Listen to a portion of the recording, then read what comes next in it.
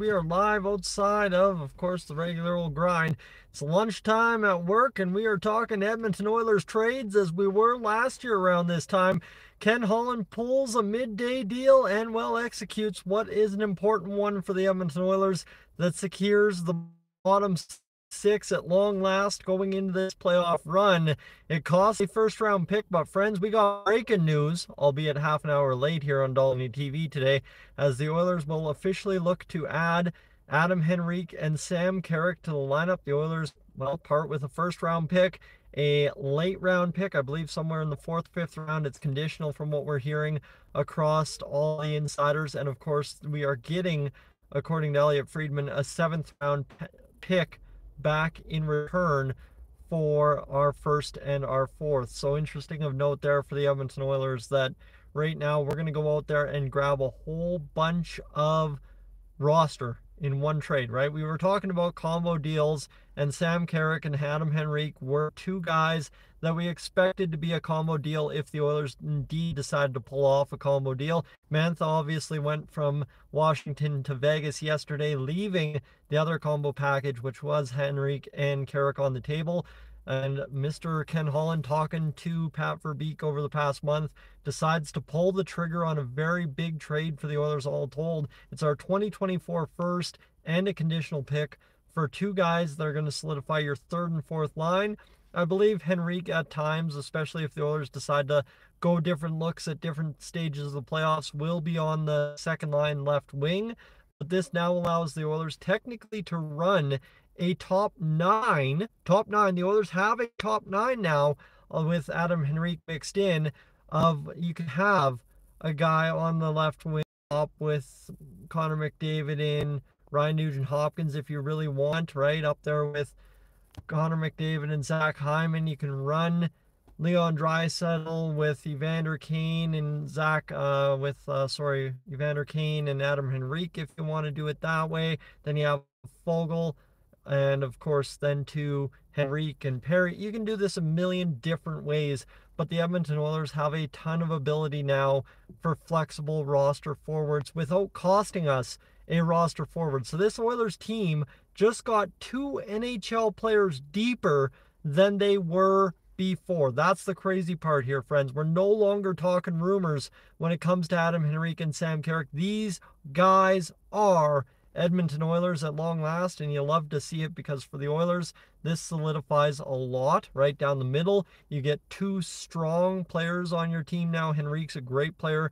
uh, in all facets of the game. Sam Carrick's a strong penalty killer and a strong fourth line forward for a team that desperately needs a hard to win against fourth line in the playoffs, right? The Oilers aren't asking the fourth line to score the goals that win the series. The Oilers are just simply asking the fourth line to not bleed chances like it typically does. Even that game last night against the Boston Bruins, it was a lot of times the fourth line got into sketchy situations in our own end.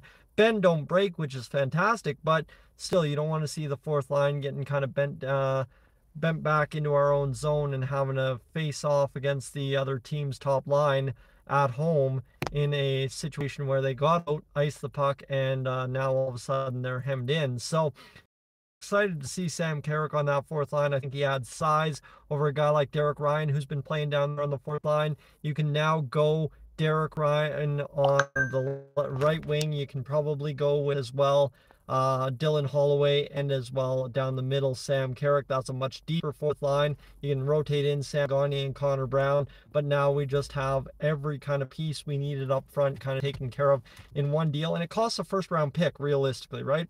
Fourth and a fifth, I don't care. The Oilers aren't going to draft worth a dang with those picks anyway. And of course, even if you give up for double retention, we have potential to have another move in the works. And Bob Stauffer is promising another move for the Edmonton Oilers. So I'm excited to see what that ultimately comes out to for the Oilers. But right now, just securing that bottom six is so important to me, right? We watched uh, over the past few years. Ryan McLeod's not quite the NHL caliber player you need on the third line as a centerman when it comes to playoff time. Not saying Ryan McLeod's useless because I think uh, running him as the left winger on the second line would be absolutely fantastic. Then you have Kane, Henrique, and Perry has been suggested out there. This trade, as much as it only costs us a first, uh, solves so much for the Edmonton Oilers headaches that we've been seeing since pretty much the back half of that 16 game win streak. I am just absolutely elated that the Oilers were able to pull this deal off, and all it costs is one top pick, right? And I think that was, I guess, the reasoning behind that for me. We knew that was going to be the cost for Adam Henrique. I knew there had been hope out there in oil country that it wouldn't cost a first rounder, but you get double retention on Adam Henrique, you get Sam Carrick, and of course, as well, you part with three picks to make it all happen, and one's a first, and the other two are below the fourth round.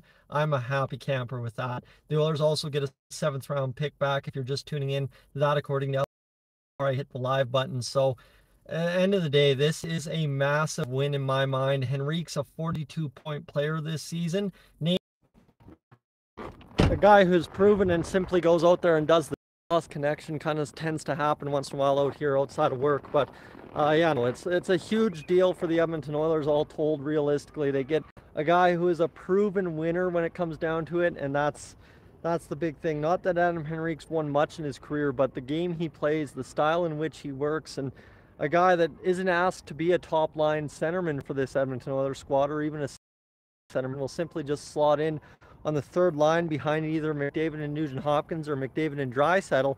That's a massive difference all told for an Edmonton Oilers squad when you look at eh, any fan, right? Compare Adam Henrique against Ryan McLeod.